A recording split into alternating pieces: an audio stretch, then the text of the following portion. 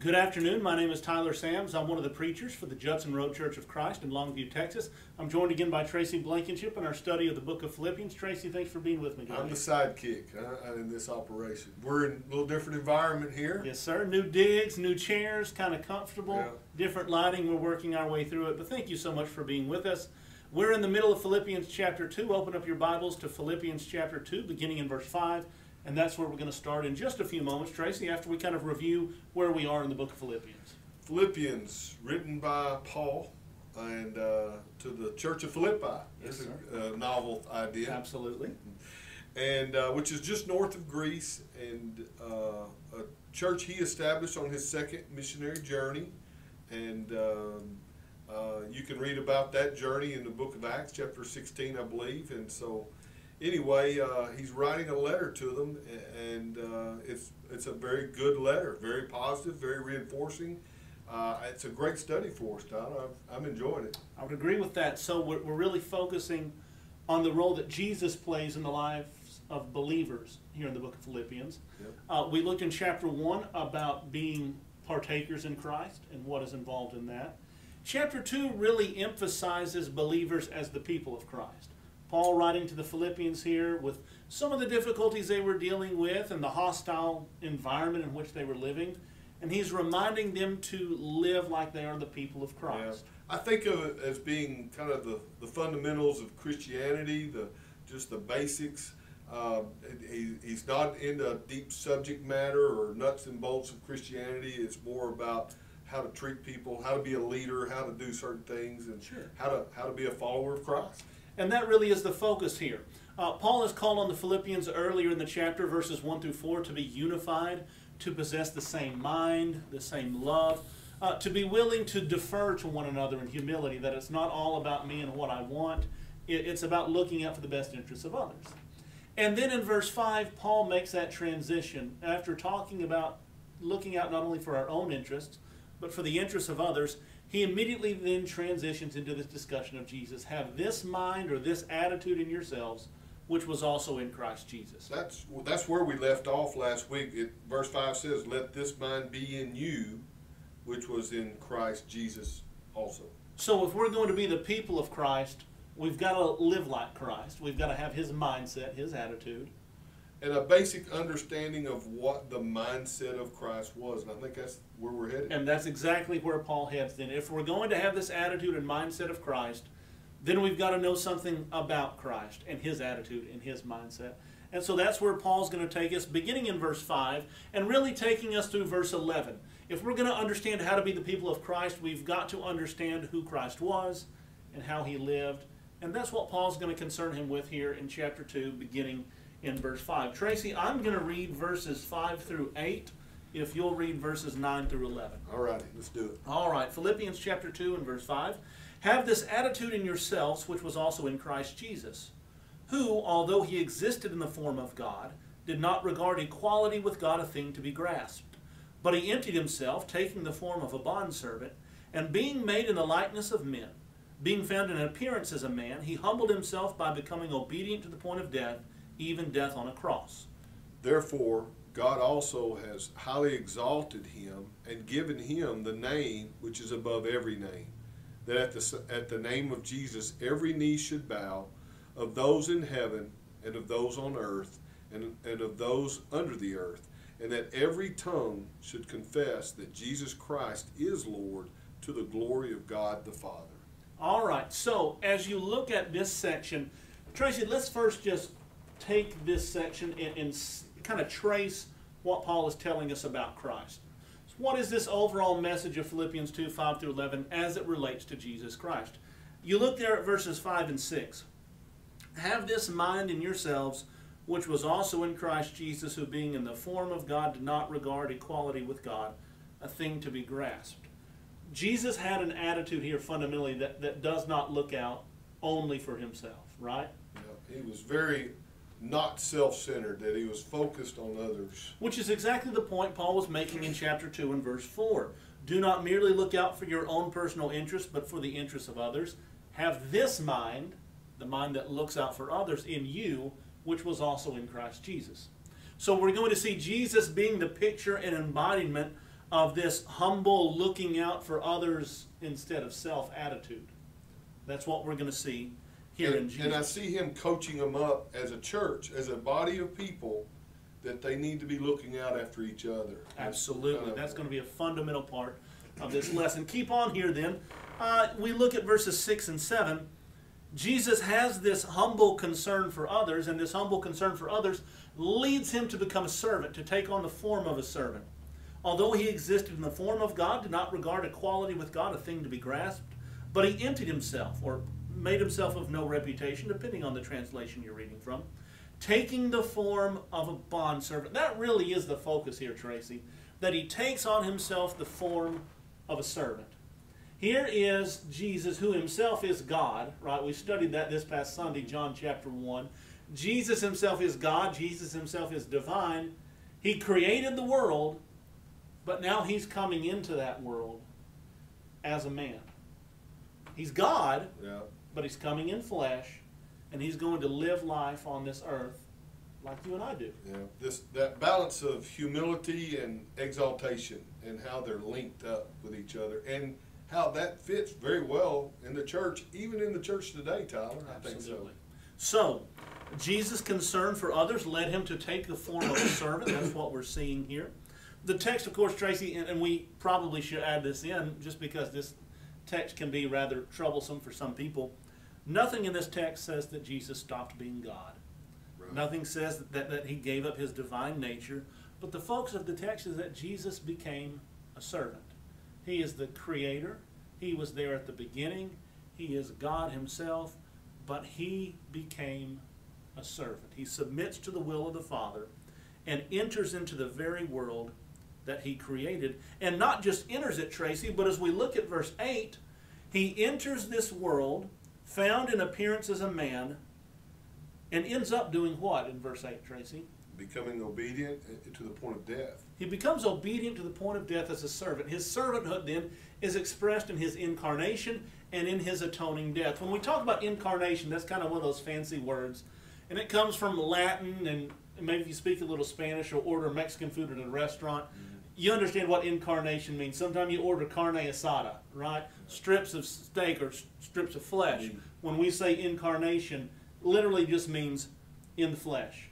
Jesus came in the flesh. That was one way that his servanthood, not only to God, but also to humanity, was expressed. But Tyler, when I see verse verse was it eight about the uh, obedient to the point of death, I, I think of you know it's one thing to be obedient to do what you're told or or whatever the expectations are, but to carry that all the way to all the way through to the point of even death. You know, usually we, we don't think of having to carry out an act of obedience that far, but he carried it all the way. An act of obedience costing you something and costing you to, something. to that degree, too. Absolutely. Yeah. So his, his servanthood is expressed in his incarnation and his atoning death. And then this section is going to wrap up in verses 9 through 11, where we have Jesus being exalted.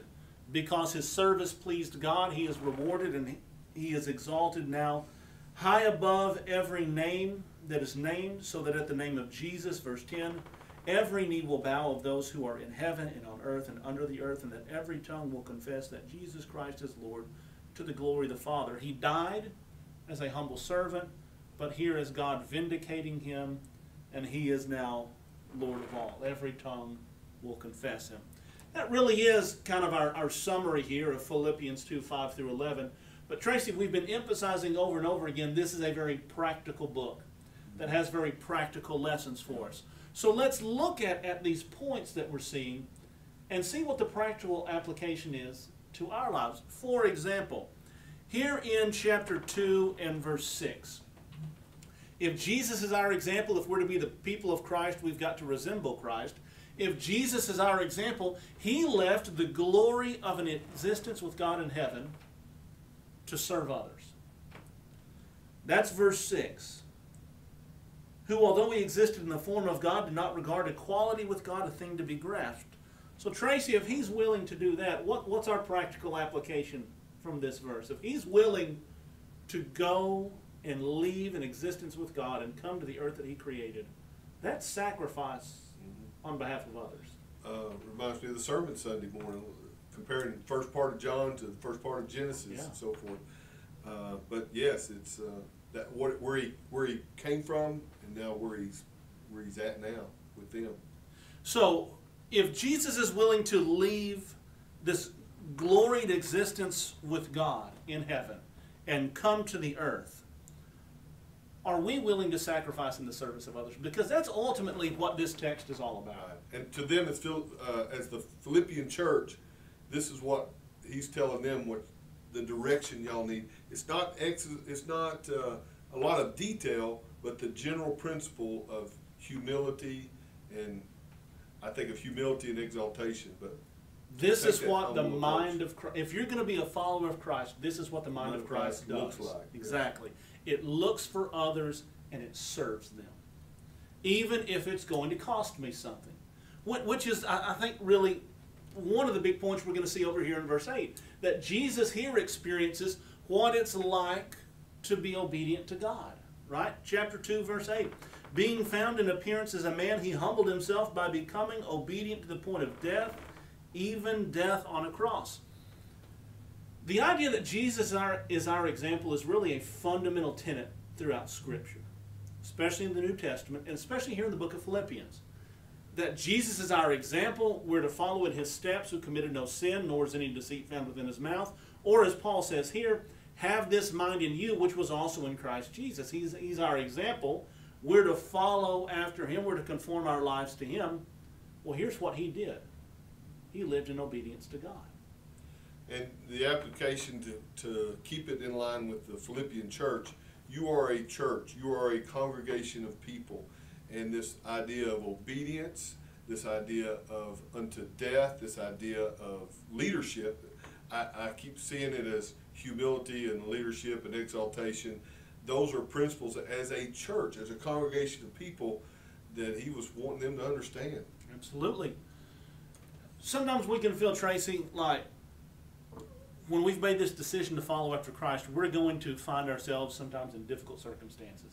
It's not all a bed of roses just It's because not. you. Uh, And and we can we can find ourselves, you know, crying out, does God really love me? If God loved me, why would he allow these difficult things to happen to me in my life? Am I am I really following God? If I was following God, would I be going through these hardships? yeah. But that's where this example of Jesus can be so beneficial to us. That here is somebody who, who lived in absolute accordance with the will of God, but still suffered. And, and I think that that's the next point we draw out from this text. Jesus experienced suffering and rejection in the service of God. Just because we choose to serve God doesn't mean that our lives are going to be free from hardship. There is a promise, and we'll talk about that in just a few moments. But the reality is, if we choose to serve God in this life, there are going to be moments when it's difficult. Right.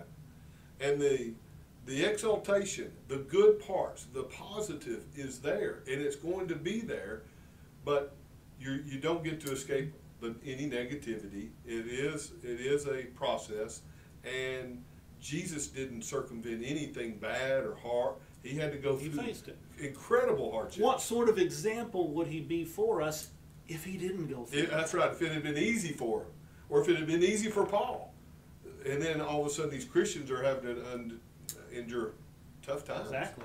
Not a good example. I think about what the Hebrew writer says in Hebrews chapter 2 and verse 17 that in all things Jesus had to be made like his brethren in order to be a merciful and faithful high High priest, priest. in things pertaining to God. Yeah. For Jesus to be our Redeemer and our high priest, he had to experience what you and I experience. And he did. Right, and we, we get to look at it through a book, through thousands of years of history.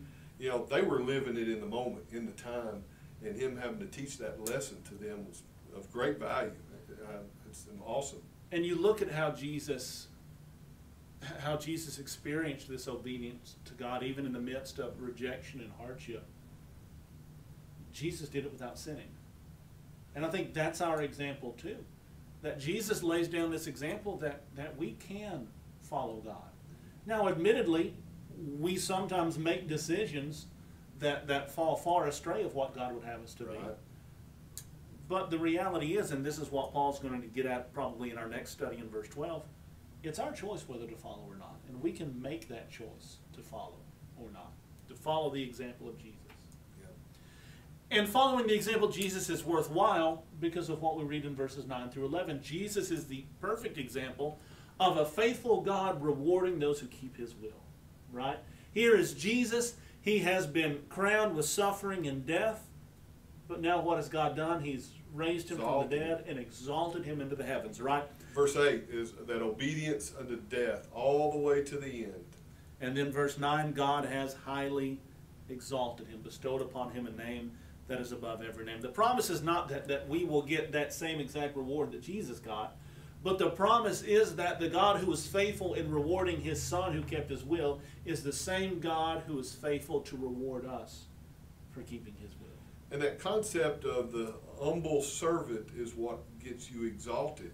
And to them as a church, if you will humble yourselves and serve each other, you will be a, a, a, true church and a true light into the world and all the things it was meant to be. If you That's humble pretty yourselves, you will be exalted. exalted. Humble yourselves in the sight of the Lord, and He will lift you up. It's a passage from the Old Testament and the New Testament, It's right? a great message. It is. Here is Jesus. Here is the mind of Christ. And if we have the mind of Christ, this is what we're going to do. We're going to be humble. We're going to esteem others better than ourselves. We're going to be servants. And in the end, we'll receive the reward from the faithful. And Tyler, that's the church I want to be a part of. Absolutely. You know, that's what I hope the church that we have here is that church like he's talking about trying to be in Philippians. Great point. Appreciate you being with us Yes. today. Thank you for joining us in this study of Philippians chapter 2. We will pick up next week in verse 12. Hope you have a great day. Good to see you. We hope to see you soon.